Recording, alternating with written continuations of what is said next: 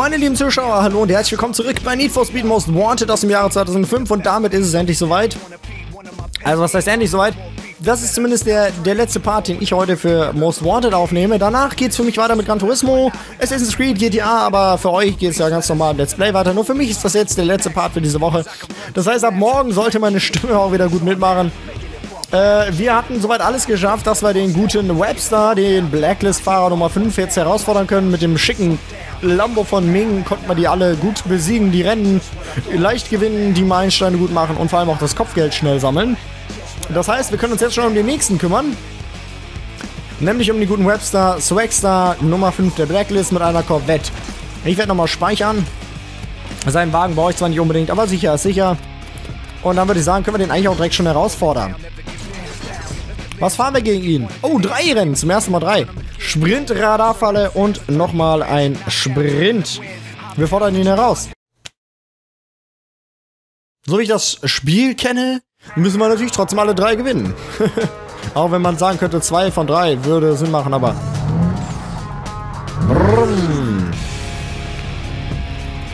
Also deine Corvette ist ja gar nicht so schlecht, aber ich muss sagen, mein Lambo ist einfach so viel geiler.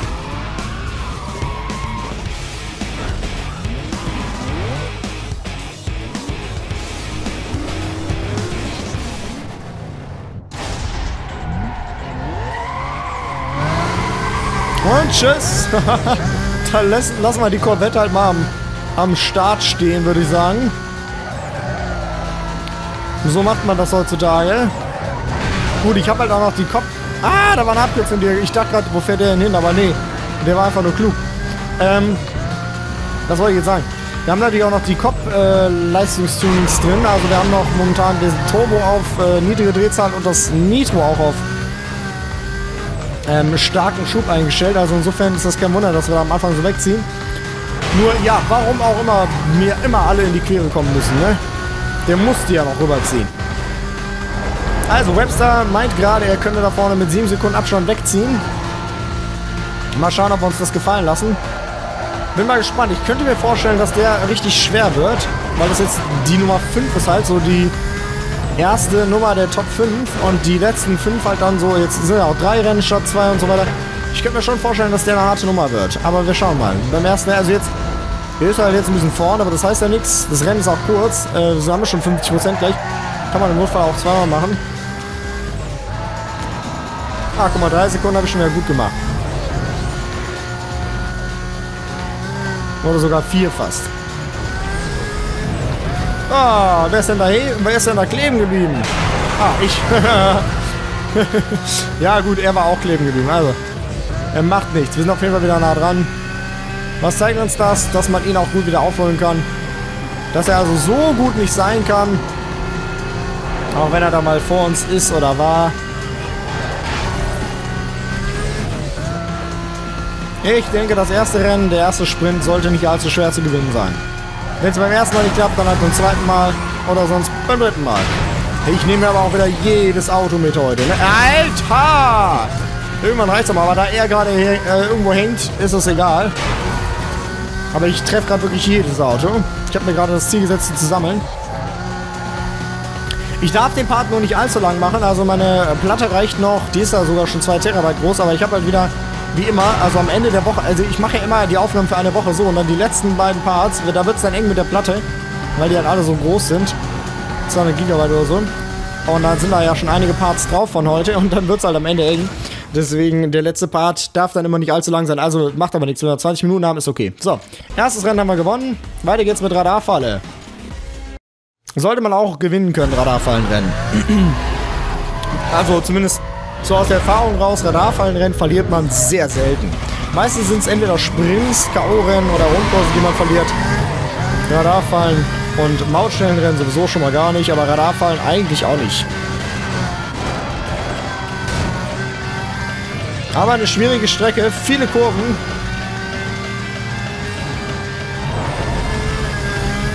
...172 ist nicht viel. Gucken, ob er mehr hinlegen kann. Nein, 148. Das ist schlecht, mein Lieber. Das ist schlecht. Muss ich dir leider mal ganz klar sagen, wie es ist. Mit 148 kannst du hier heute nichts reißen. Nicht gegen mich. Und 202 in der Kurve. Hast du mehr zu bieten, oder? Ja, nee, nicht wirklich. Okay. Ja, wenn du so weitermachst, dann hast du das schon verloren, das Rennen hier. Also streng dich mal bitte ein bisschen an, mein Lieber. Wir wollen es doch spannend machen, oder? Webster, Swagstar. Wir wollen es doch ein wenig spannend machen für die Zuschauer. Also tu mal so, als würdest du mich fertig machen. Ich meine, wir wissen beide, dass ich dich fertig machen werde, aber unter uns so, ne? Bleibt geil. Ah, er war aber ein bisschen aufgeholt. Jetzt ist er nur 50 hinten. Eben war es über 70. So, der da hinten ist natürlich jetzt gemein, weil er genau hinter der Kurve ist. Da musst du genau richtig fahren. So, doch, 230 ist okay, finde ich. Ja, da haben wir einfach mal 103 Vorsprung. Okay. Damit haben wir jetzt wieder 50 mehr gehabt als er.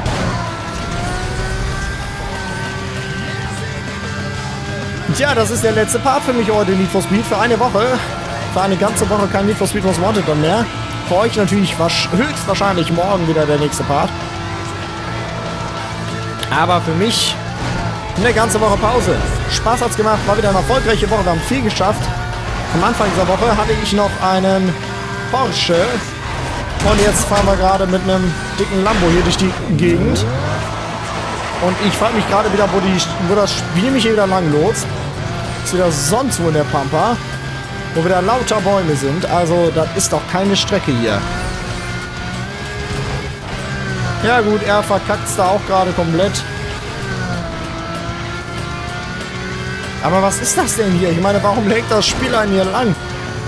Kann man, doch, man kann doch nicht ein Lambo und eine Corvette durch die Pampa, durch, den, durch das Moos, durch den Sumpf führen. Wer erfindet denn sowas? Gesund ist das bestimmt nicht. Nein! Oh mein Gott. Ah, das war knapp. Also, da hätte noch viel mehr schief gehen können. Aber ich bin trotzdem fast 150 vor ihm. Also, das ist nochmal gut. Aber da hätte richtig viel schief gehen können gerade. Also, das war gefährlich. Da habe ich mich fast verkalkuliert. Dann wäre ich damit 40 oder so durch das Ding gerast. Okay, immerhin. So, einen haben wir, glaube ich, noch vor uns, ne?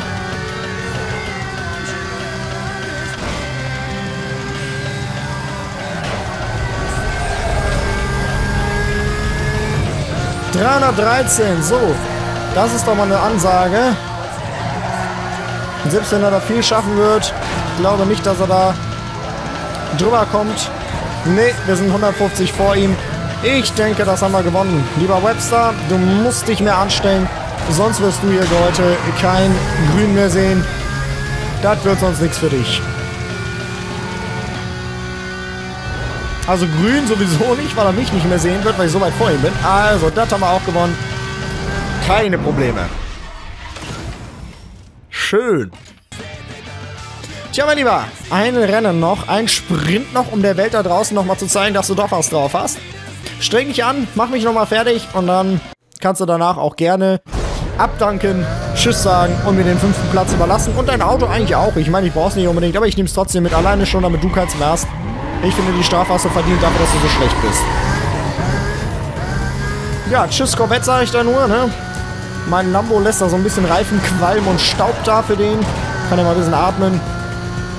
Es geht dann über die Belüftungsanlage direkt in seinen Innenraum. Und er kann dann mal richtig schön eine Nase nehmen von meinem Reifenqualm. Mmh, lecker! Verqualmter Lamborghini-Reifen.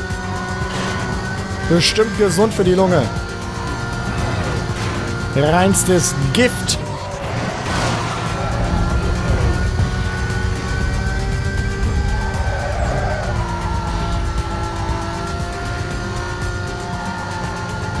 So, Serpentin nach Serpentin hier. Das sind ja scharfe Kurven auf jeden Fall. Sind Serpentin, also Serpentinen sind für mich Straßen, die in extremen Schlangenlinien, so wie die Straßen eben, den Berg hochgehen. Aber Bezieht sich das Serpentinenmäßige darauf, dass sie an einem Berg sind oder darauf, dass es einfach so steile S-Kurven sind? Das würde mich mal interessieren. Wenn das einer weiß, dann schreibt es mir mal. Also sind das auch Serpentinen, die da eben waren, obwohl die einfach gerade sind, aber halt diese Kurvenform haben? Oder sind Serpentinen nur Serpentinen, wenn sie am Berg sind und diese Form haben? Das wüsste ich gerne mal. Schreibt es mir mal in die Kommentare. Und ansonsten bin ich jetzt mal gespannt, ob er jetzt tatsächlich noch mal ein bisschen was zeigt, ob er jetzt beim Sprint mich noch einmal fertig macht, dass ich das wenigstens zweimal machen muss. Es wäre natürlich, einerseits wäre es gut, dass er noch mal ein bisschen was auch drauf hat, weil wir haben jetzt die beiden ersten Rennen so leicht gewonnen. Andererseits würde es mich bei dem Rennen am ehesten ärgern, weil das so lang ist. Wir sind jetzt gerade mal bei 37%, obwohl wir schon 1 Minute 50 fahren.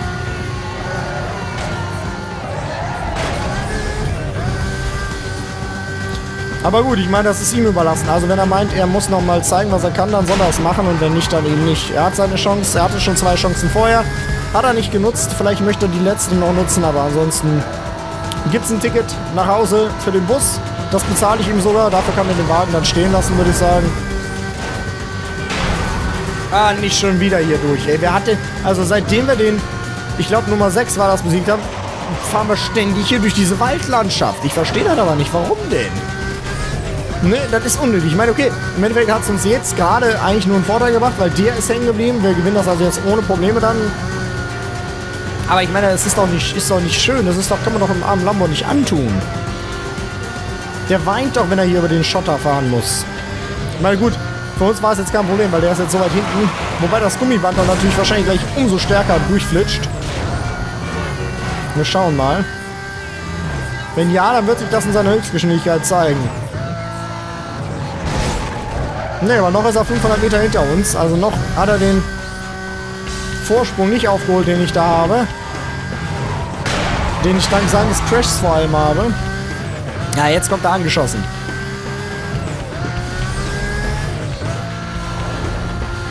So, 70 Prozent. Drei Viertel haben wir gleich. Ein verdammt langes Rennen. Zumindest für Most Wanted. Da sind die Rennen hier eigentlich immer kürzer als das hier. Bei anderen Rennspielen sind drei, vier Minuten kein Problem. Das ist normal. Aber hier für Most Wanted ist das schon relativ lang, das Rennen. Ich meine, gut, ist halt auch ein Blacklist-Fahrer. Ist das letzte Rennen gegen ihn. Wenn wir das gewonnen haben, haben wir alle drei beim ersten Versuch gewonnen und haben Webster, the Swagster, ziemlich leicht fertig gemacht, muss ich sagen, oder? Ich meine, es macht auch der Wagen viel aus, muss man wahrscheinlich sagen. Also, die Corvette kann natürlich reinstinken bei diesem Lambo, der von den Leistungswerten fast alles voll hat.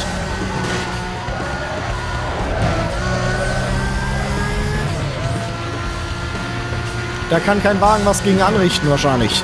So, 95%. Es sieht fast aus, als hätte der leider keine Schnitte mehr. Hat uns nicht gezeigt, was er drauf hat. Hat die Chance nicht genutzt. Tja, dann muss er halt die Konsequenzen tragen. Das war's für Webster, The Swagster. Der ist abserviert. So, also, wir nehmen auf jeden Fall erst einmal mit ein Leistungsupgrade. Ein einzigartiges Kompressor-Upgrade. Und wir nehmen den linken. Extra Verwarnungsgutschein. Ja, schade, kein Wagen diesmal, aber die Corvette, wenn wir die haben wollten, können wir die, könnten wir uns die auch kaufen, aber ich brauche den nicht unbedingt. Insofern, kein Problem. Der nächste Gegner ist die Nummer 4. Wieder ein farbiger. Joe Vega, auch JV oder wie auch immer man das aussprechen will. Dodge Viper SRT fährt er. Radarfallenrennen sind seine Stärke. Keine Ahnung, wie JV, sag ich jetzt einfach mal, das macht, Alter. Nachts hängt er in den Clubs ab und tagsüber ist er auf der Straße. Der Typ hat einen ziemlichen Ruf weg. Die Cops hassen ihn und die Racer eifern ihm nach. Falls du ihn suchst, er fährt eine knallgrüne Dodge Viper. Ja, da können wir uns zusammentun, mein Lieber. Können eine Crew aufmachen, eine Gang. Denn mein Lambo ist ja auch relativ grün. So, bald sind wir in den Top 3, würde ich sagen. Aber erst einmal kommt noch Joe Vega.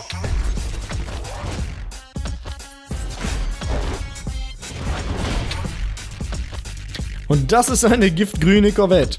Äh, seine giftgrüne Viper. Ja, bei einer Viper passt die Farbe natürlich am extremsten. Alleine wegen dem Namen.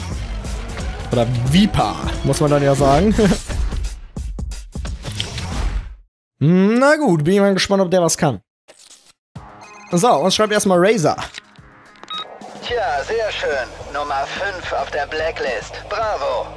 Aber bleib auf dem Teppich. Du musst doch an meinen Leuten vorbei. Ab jetzt wird es härter für dich. Ja. Viel härter. Da hat er natürlich recht. Jetzt kommen seine Jungs, das wird hart, aber ich denke, mit dem Lambo wird uns erst einmal so schnell keiner aufhalten. Da war ich ja eigentlich schon richtig, da wollte ich ja hin. Zum Tuning-Shop. Mal eben gucken, ob es irgendwas Neues gibt. Ich vermute nicht, weil wir haben ja alles drin. Was drin sein könnte. Ja, also Ultimate sogar, wo wir es schon gar nicht haben können. Also wir haben jetzt hier das Ultimate Getriebe freigeschaltet, das haben wir aber ja schon drin. Und sonst Bremsen. Ultimate, die haben wir aber auch schon drin. Also hier gibt es nichts Neues für uns. Oh, okay.